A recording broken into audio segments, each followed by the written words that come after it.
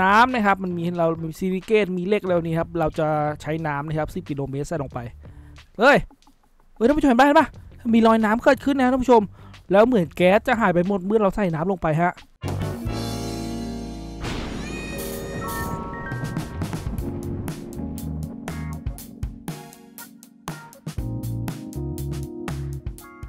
เอาเลยครับกราบสวัสดีท่านผู้ชมท่านด้วยนะครับ ยินดีต้อนรับเข้าสู่ช่องมาราคาเกมวันนี้ท่านก็อยู่กับรายการ Universe Sandbox บันบ้ามากแล้วนะครับ รายการนี้ก็จะเป็นคลิปสั้นๆนะครับว่าเอาไว้ดูตอนเช้าก่อนที่น้องๆจะไปโรงเรียนกันนะครับ เป็นการทดลองเกี่ยวกับเรื่องดวงดาวนะครับ อาจจะไม่ค่อยมีสาระเท่าไหร่นะครับไม่สามารถเอาไปอ้างอิงกับงานวิชาการได้นะครับยังไงก็ใช้วิจารณญาณในการรับชมกันด้วยนะครับสำหรับท่านผู้ชมไหนครับอยากให้ผมทำอะไรในเกมนี้เนี่ยไปทดลองอะไรเกี่ยวกับอะไรที่มันดูบ้าๆหน่อยมันทำไม่ต้องมีสาระก็ได้นะครับสามารถคอมเมนต์ไว้ใต้คลิปนี้ได้เลยนะครับแล้วก็อย่าลืมใส่แท็กมันบ้ามากด้วยนะครับถ้าเกิดไม่ใส่แท็กมันบ้ามากผมจะอ่านข้ามไปเลยนะฮะโอเคท่านผู้ชมเรามาดูความบ้าที่เราเลือกในวันนี้กันเลยดีกว่านะครับ ความบ้าที่ได้รับเลือกกันในวันนี้นะครับ จากคุณเปียโน เอลตาอินนะครับบอกว่า พี่ครับลองนำน้ำปริมาณมากเทลงไปในดาวศุกจะเกิดอะไรขึ้นครับ โอเค ได้เลยนะครับ เดี๋ยวนี้เราจะมาทำน้ำนะครับใส่เข้าไปในดาวศุกเยอะๆนะครับ ซึ่งตอนนี้นะครับ Universal Sandbox นี่เขามีการอัปเดตมาใหม่ด้วยนะครับ ซึ่งเราสามารถใส่น้ำไปโดยตรงได้แล้ว เหมือนเราเทน้ำลงไปได้เลยนะครับ ไม่ต้องไปเพิ่มอ่า ไม่ต้องไปเพิ่มจากตรงนี้แล้วนะครับท่านผู้ชมนี่ไม่ต้องไม่ไม่ต้องไปเพิ่มจากตรงนี้แล้วนะครับเพราะว่าเขามีพื้นผิวส่วนประกอบอัปเดตมานะครับเราจะสามารถใส่ไปได้โดยตรงเลยนะครับ เราก็จะได้ผลลัพธ์ที่แตกต่างออกไปนะครับมาลองทำกันดีกว่าครับท่านผู้ชม น้ำนะครับมันมีเรามีซิลิเกตมีเหล็กแล้วนี่ครับเราจะใช้น้ำนะครับ 10 กิโลเมตรใส่ลงไปเฮ้ยเฮ้ยท่านผู้ชมเห็นปะเห็นปะมีรอยน้ำเกิดขึ้นนะท่านผู้ชม แล้วเหมือนแก๊สจะหายไปหมดเมื่อเราใส่น้ำลงไปฮะเฮ้ยนี่ยท่านผู้ชมดูดูดูดูเห็นปะเห็นปะเห็นปะ มีน้ำเกิดขึ้นแล้วก็ระเหยไปฮะงั้นเราจะเพิ่มนะครับ ปรับคูณ 10 นะครับ เป็นร้อยกิโลเมตร ใส่ลงไป เฮ้ยเห็นมีอะไรเกิดขึ้นนะโอ้น้ำมันทะลุทำไมน้ำมันทะลุอะ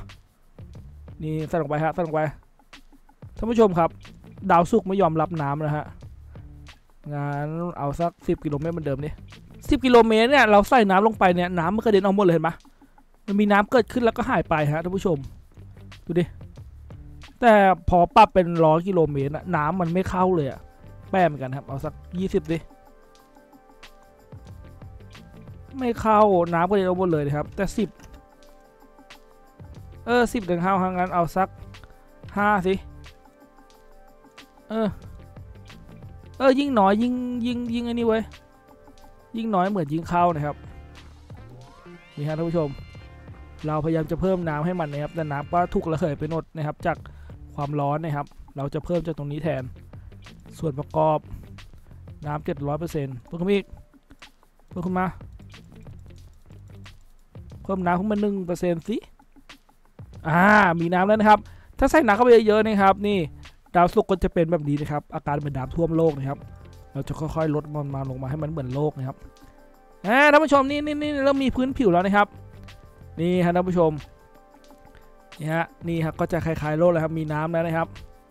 นี่แล้วน้ำมันจะค่อยๆแห้งนะครับ ด้วยความร้อนตอนนี้นะครับโอ้โห340 องศานะครับ ผมจะลองปรับให้มันเหลือเท่าโลกดูโลกมันเฉลี่ย 15 องศาอ่าอุดทำไมพอปรับ10เฉลี่ย 15 องศาปั๊บ ทำไมมันกลายเป็นเหมือนแบบมีแก๊สขึ้นมาวะจากเมื่อกี้มันไม่มีแก๊สแล้วมันก็ไม่มีแก๊สนะ เออแปลกครับท่านผู้ชม เราจะลองลดน้ำให้เหลือเท่าโลกนะครับสองสองร้อยประมาณนี้นะครับใกล้เคียงล้วแล้วเราจะลองหมุนดูว่ามันจะเกิดอะไรขึ้นนี่มีชั้นบรรยากาศครับท่านผู้ชม เออ ดาวศุกมีชั้นบรรยากาศนะฮะท่านผู้ชมเป็นชั้นบรรยากาศคล้ายๆโลกมั้งก็น่าจะประมาณนี้แหละนะครับ เออน่าสนใจนะครับ ถ้าเกิด ถ้าเกิดดาวศุกร์เนี่ยมีน้ำเติมน้ำลงไปเยอะๆนะครับมีมีขั้วโลกด้วยเห็นไหม